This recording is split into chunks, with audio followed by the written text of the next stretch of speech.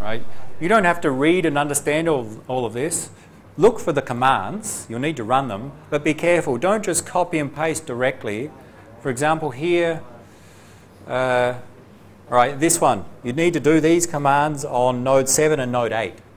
Okay, so just read, I think you can copy and paste them on node 7 and node 8, and then that part's done. But in some cases in these instructions, for example here, you need to run these commands to turn off some security features. But just be careful. Remember to repeat on node 7 as well. Okay, so just read a little bit because it says do this on node 2 and node 7. Okay, so even if you don't understand this part, it's not so important. It's just setting up. But just try and set it up correct. And then you need to run this one, for example, on nodes 4, 5, and 6. Node 3, 4, 5, and 6. So repeat this command on four nodes. Then they're set up. Set up for both the ping attack and for the NTP attack. How to set a fake source address? Here's the command. If you want to change the source, then change it. I think this one will work for the attack. Note that this fake source address is for, zoom in a little bit, is for only for ICMP packets. That means whenever I send an ICMP packet, a ping packet, I'll use this fake source address. But when I send a different packet, I will use my normal source address. That works in the ping attack. In the NTP attack, it doesn't use ICMP, it uses UDP. So you'll need to change this to UDP in the NTP attack.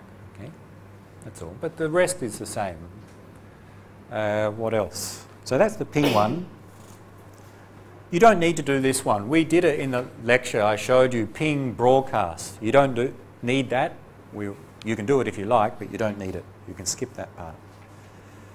How to capture. Your experts are capturing. Why do you capture? To see what's happening. IP traf, try that. You'll need that. It's just a nice way to see the, the number of packets and bytes coming in and out of the particular computers.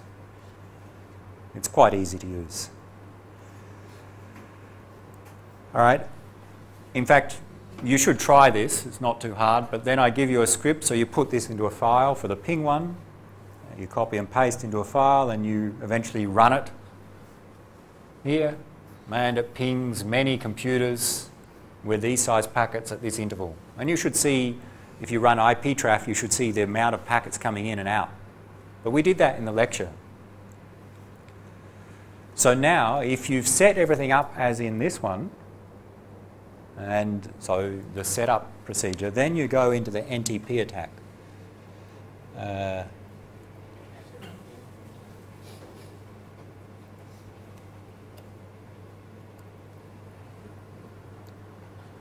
So even if you don't do the ping attack, if you, if you think you understand it, then go to the NTP attack and try that.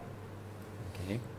And I describe it, but the idea is that with ping, when I send a ping request, in our example it was, or a ping, let's say, is 100 bytes, and the reply is 100 bytes.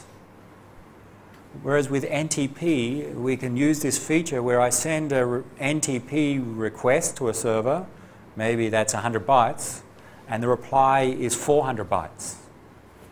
Okay, and the way that we're using a fake address, fake source address, is that I send a 100 byte packet to some reflector node, and that one sends a 400 byte packet to the target. This is amplification. We've increased the amount of data going to the target but just by using a different protocol. Ping, you can't do that because the request and response are about the same size. But some protocols, there are features that you can send a small request but get a big response. And that's what you want to try and achieve here. That's the idea.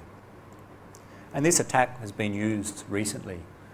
Uh, so set up as in the ping one, and then you need to do a bit more setup. NTP is not supported on all computers, so we need to set it up. So on some of the computers, nodes 1, 3, 4, 5 and 6, you need to install the NTP server. So just run this command. and then set them up according to what are the instructions here. Copy and paste these into a configuration file and restart the server. So now the NTP server is ready and running. What is NTP? You send a request to an NTP server, it tells you the time, okay, the, the, the time uh, to set your computer clock for, a, a network time protocol. And they get the time usually from some atomic clocks.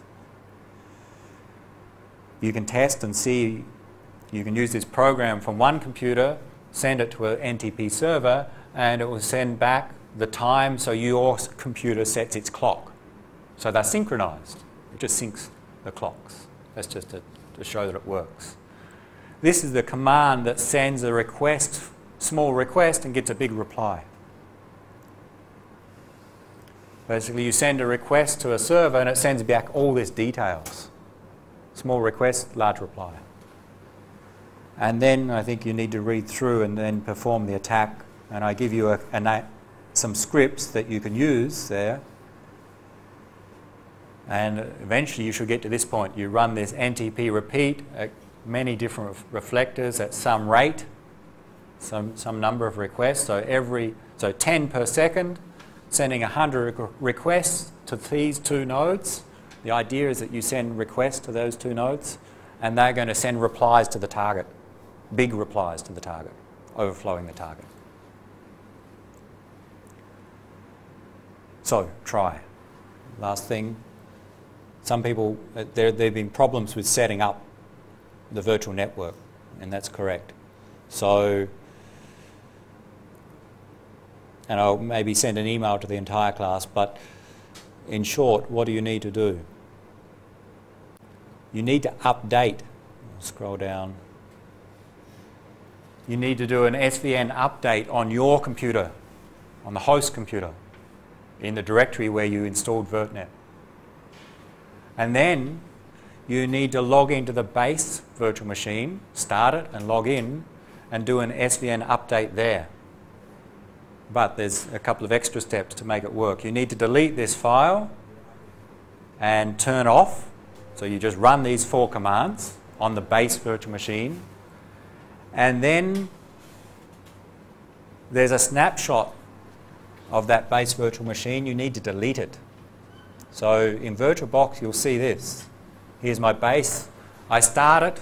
I run the commands listed here. I turn it off, power off. So it's in this state. But if you look in VirtualBox, it shows what these uh, snapshots, like copies.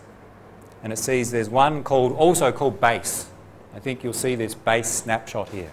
Delete it. I will not delete mine for different reasons, but you delete that snapshot there.